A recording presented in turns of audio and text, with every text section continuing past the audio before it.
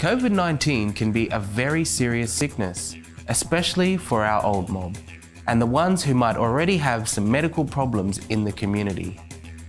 Vaccines make your immune system find and fight specific viruses like COVID 19, and it'll stop you from getting very sick or dying if you did catch the virus. When you get vaccinated, you are protecting yourself. When enough people are vaccinated, everyone's working together to protect the whole community. When enough people in your area are vaccinated, it slows down the spread of the disease.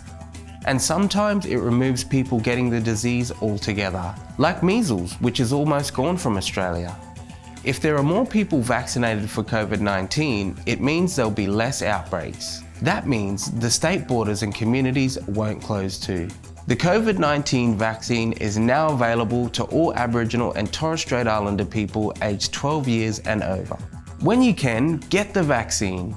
It'll help protect yourself, your family, and the people who are most likely to get it in the community. To book your appointment, have a yarn with your local healthcare worker or visit health.gov.au.